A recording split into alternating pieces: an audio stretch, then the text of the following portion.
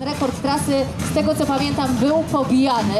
E, I liczymy na to, że w tym roku ta czołówka najszybszych kierowców jeżdżących najszybszymi, najbardziej